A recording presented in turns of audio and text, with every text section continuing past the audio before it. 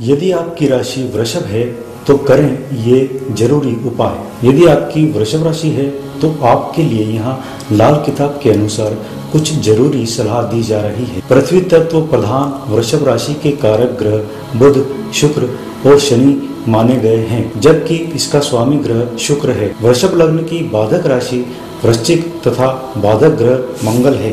दूसरे भाव में वृषभ राशि मानी गई है, जबकि इसके शुक्र का पक्का सातवां भाव माना जाता है। लाल किताब के अनुसार शुक्र के खराब या अच्छा होने की कई स्थितियाँ हैं।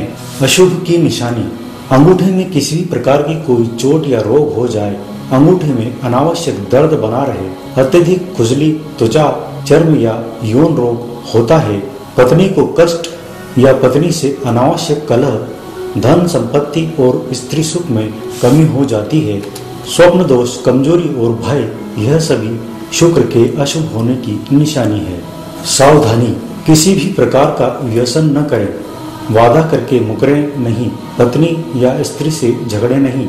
व्यभिचार या अप्राकृतिक कृत्य से दूर रहें, झूठ न बोलें। शुक्रवार को खटाई न खाएँ, किसी को अनावश्यक परेशान न करें।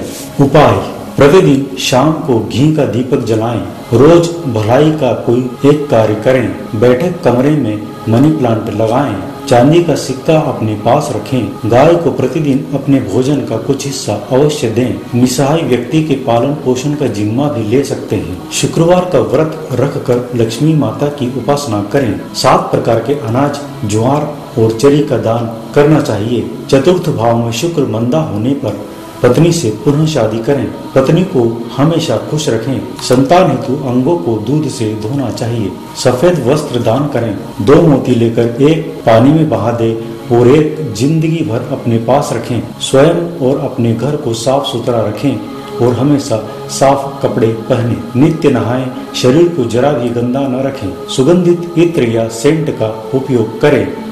पवित्र बने रहें।